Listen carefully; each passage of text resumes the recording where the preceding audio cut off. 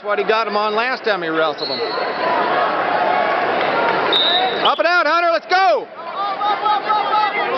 Up